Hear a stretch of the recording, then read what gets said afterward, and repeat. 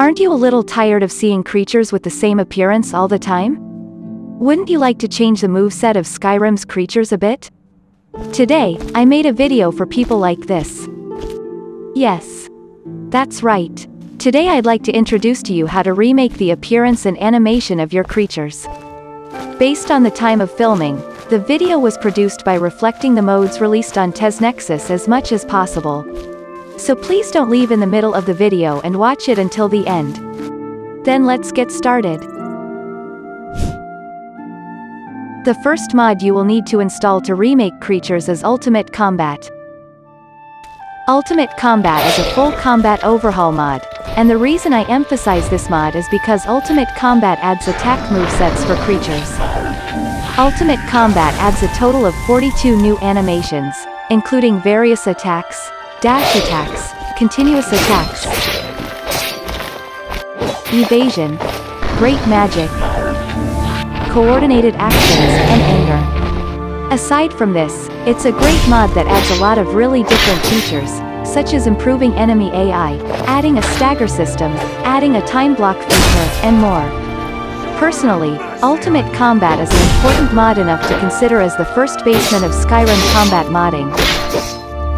This is because Ultimate Combat has a strong tendency to apply the mod's features to all Skyrim actors, not specific enemies. And because those features are essential features that must be present in order to improve Skyrim's combat system.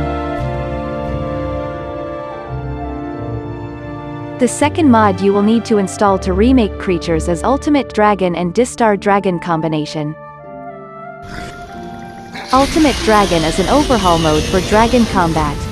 Adds over 20 dragon animations, adds dragon shout feature, falls down, enrages and rotational damage features. It not only adds various animations, including combat animations, but also adds various functions, such as adding some of the magic used by dragons. And if you use the Distar Dragon overhaul with Ultimate Dragon, you can have more dragon attack animations. The Distar Dragon overhaul currently adds a total of 6 types of dragon attacks. Ultimate Dragon adds immersive attack animations, while Distar Dragon adds flashy attack animations, so different dragon attack animations are displayed every moment, which will further enhance your immersion. For the appearance of the dragon, I chose Got Dragon Replacer, maybe you will be satisfied. The third remake creature I will introduce to you is the Lurker.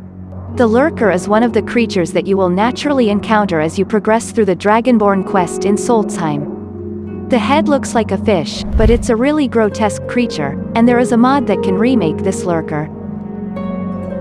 It is the new creature animation series Lurker. The advantage of this animation mode is that the DAR condition value is set to use new creature animation as the Lurker's health decreases, while leaving the vanilla motion as it is. In other words, as the lurker's health gets low, it will start using new creature animation. If I'm talking about this part as an advantage, boss creatures in Monster Hunter or Vindictus go berserk when they are on the verge of dying, and at this time, they start to attack the surroundings tremendously. These appearances give the player the feeling that the creatures are struggling on the brink of death, making these creatures feel like they are really alive. New creature animation makes the lurker feel like this, and if you use new creature animation, your lurker will not simply repeat the same motion like a robot, but will become an immersive lurker that produces various animations depending on the situation. The fourth creature to be remade is bear, wolf, and sabercat. The reason why I introduce these creatures to remake all at once is that this mod I will introduce will change the movesets of Bear, Wolf, and Sabercat to all. That mod is the Distar Creatures series. The Distar Creatures series will change the attack animations of your Skyrim Bear, Wolf and Sabercat creatures even more. Was the wolf's head butting attack animation too annoying? Then you should try the Distar Creatures series. The Distar Creatures series will now change the attack animations of these creatures that were nodding in place to be more realistic and dynamic.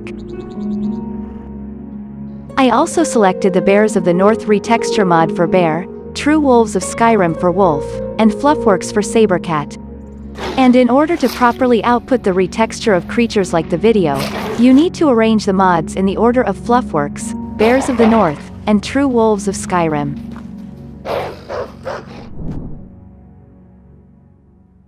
The fifth to introduce is new creature attack animation Riekling and Goblin. This mod adds attack animations for Riekling in Solstheim and Goblin, a Creation Club mod. Adds various attack animations such as back kick, multiple scratches, jump attack, and throwing animation while running away. This is a mod made by the same creator as the mod that adds the lurker animation introduced earlier. Personally, I think it's not a bad attack animation. Rieklings and goblins are small creatures that are suitable for large movements such as jumping attacks, and this mod expresses these movements well.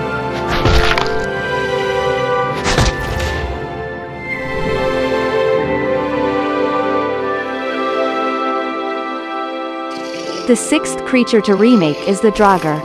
For Draugr, there are many animation mods to install, I recommend Carenado's Draugr Reanimate series. Carenados is a representative creator who reanimated Draugr. His Draugr reanimated mods include Unarmed, Spear, Magic Loop Casting, Stagger, and Draugr Bleed Out.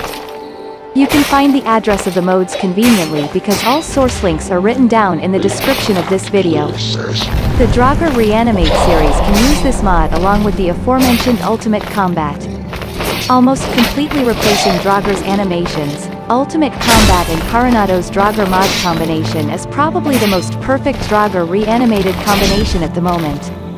In my case, I replaced the Draugr's appearance via Draugr replacer like Hive Enemy and new female Draugr. However, in the case of the Draugr replacer like Hive Enemy replacer, it expresses the appearance of the Draugr too differently, so please choose according to your preference.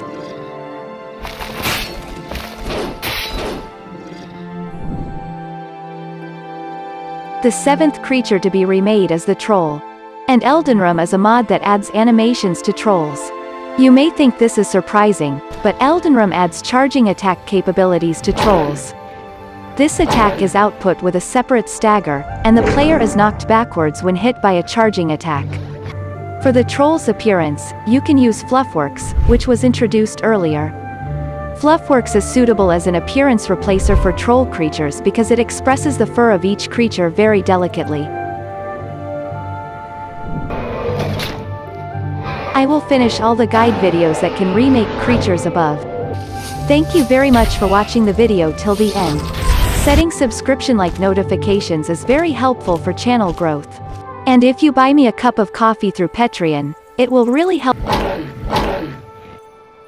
Anyway, see you next time.